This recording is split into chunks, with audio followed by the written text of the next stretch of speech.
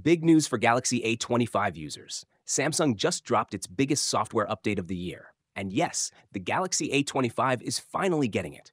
One UI 7 based on Android 15 is here, bringing a fresh new look and performance boost to your phone. Galaxy A25 gets One UI 7 with Android 15.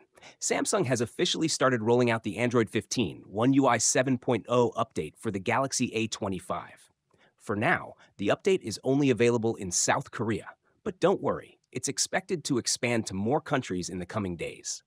This update so comes with the May 2025 security patch, fixing multiple bugs and vulnerabilities.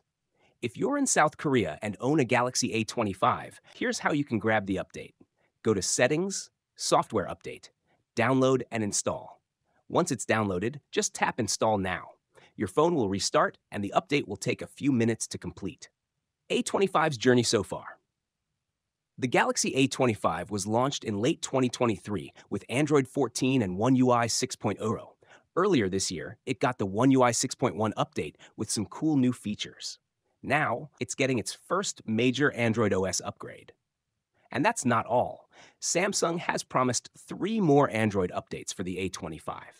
That means Android 16, One UI 8.0, should arrive later this year, followed by even more in the future.